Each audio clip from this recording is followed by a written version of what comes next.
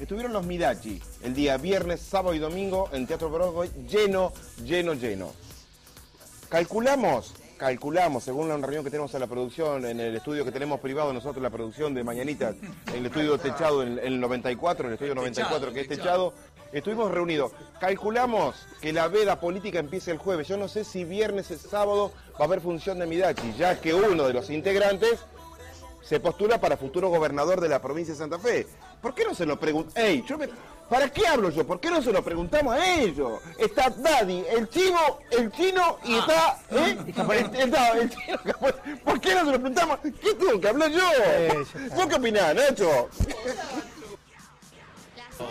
Vamos a la... pero por favor. Andá a estudiar historia de fútbol y después La sala ya está repleta. En minutos comienza el último show de Midachi. Nosotros tuvimos la posibilidad de estar con ellos en los camarines. Si no pudiste venir a verlo, quédate ahí sentado que mañanita te lo muestra todo. No, con muchas ganas de que nos hagan reír un rato. Reír me imagino que seguro te van a hacer reír. Ojalá que nos hagan reír. Vinimos desde lejos para verlo, ¿Dónde vinieron? de la localidad de Maciel. ¿La primera vez que vienen a verlo? Eh, no, ya es la tercera esta. Bueno, después de casi 28 años podemos decir que llegó el fin de Midachi.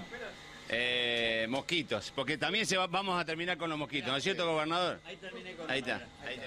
Eh, después de 28 años terminamos despedida definitiva, hacemos estas funciones aquí en Rosario, que es la primera vez que sacamos este espectáculo fuera de Buenos Aires y después hacemos las cinco despedidas, cinco funciones de despedida en, en el Gran Rex y termina Midachi.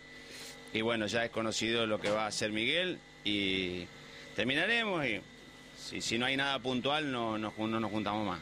¿Y cómo están viendo estas últimas funciones? Trabajando mucho, preparándonos, este, armando cosas también a futuro cada uno.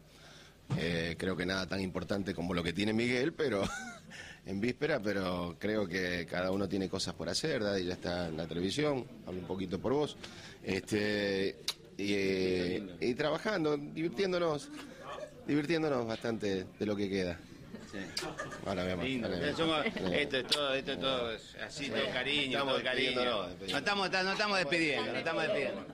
Ahí está, no estamos despidiendo. ¿Cómo lo ven a Miguel como gobernador de Santa Fe? Eh, de, de traje, sin corbata, bien, preparado, totalmente preparado, con buenas intenciones, como le dice. Preparado con buenas intenciones, llegó el, el- el dueño del teatro.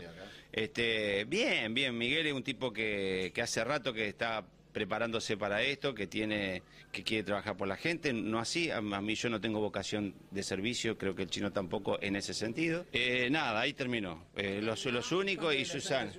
Y nada, y seguiré con Susana un tiempo más y después voy viendo, me tomo vacaciones con mi familia, me voy con mi mamá, la llevo afuera, mi mamá, que le saqué la visa, la operaron de Juanete y la llevo, la llevo a Miami, a ella le gusta, viste, nosotros somos negritos, nosotros nos gusta, viste, ir al show, a comprar zapatillas baratas.